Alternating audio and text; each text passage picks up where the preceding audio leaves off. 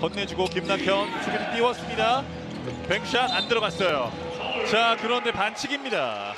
지금은 콜이 좀 늦었는데요.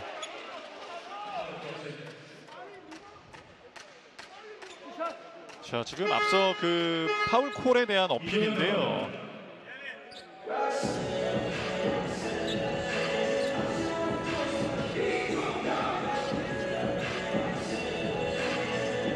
이종현 선수가 투입되는 고양 오리온입니다.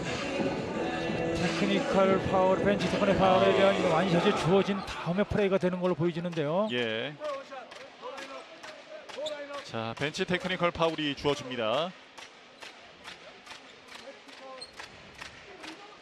지금 어려운 상황에서의 또 안 좋은 악재예요. 예.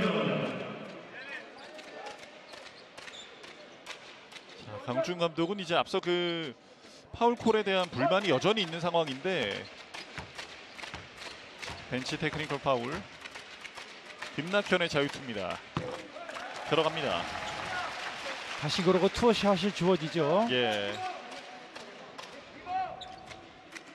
앞서 이제 언급해 주신 것처럼 어, 파울콜 자체의 시점이 사실은 또 오해를 살 수 있는 부분이기도 하거든요. 그렇지만 콜이 좀 늦은 건 사실이에요. 하지만 예. 그 상황에서의 파울을 맞는 걸로 보여지거든요. 예.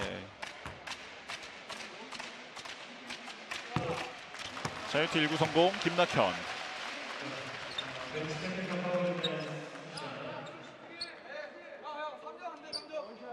자, 지금도 다시 지금 이 장면이거든요. 네네. 네, 손을 건드린 모습인데